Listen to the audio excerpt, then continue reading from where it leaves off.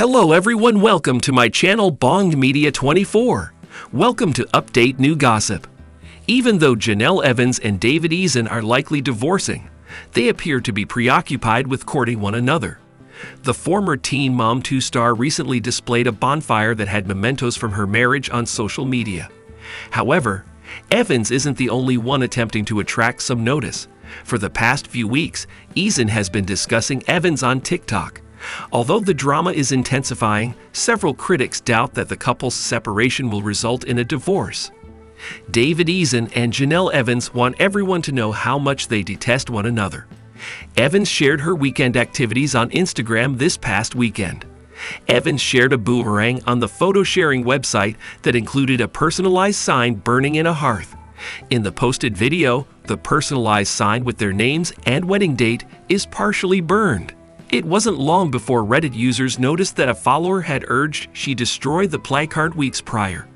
Although some people were taken aback by Evans' spontaneous blaze, David Eason has not yet responded. However, he is quite active on social media. Eason has started using TikTok in his spare time. Eason comes out against his soon-to-be ex and divulges some exclusive knowledge about Evans during live events. Speaking out lately, Eason discussed Evans' choice to withdraw her two youngest children from school.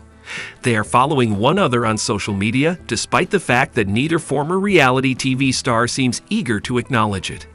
Evans and Eason. However, fans of Teen Mom 2 aren't sure the couple will end their relationship permanently, despite their insistence that they are much better apart. After all, this isn't the first time the couple has broken up.